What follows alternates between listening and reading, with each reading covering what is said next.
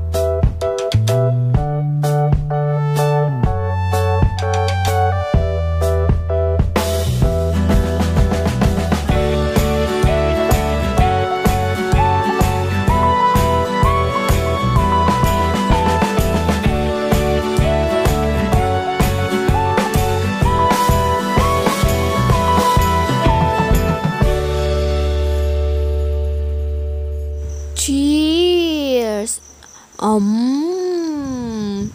Ah, um. Yummy! So, thank you for watching guys. Hanggang dito na lang. Bye-bye!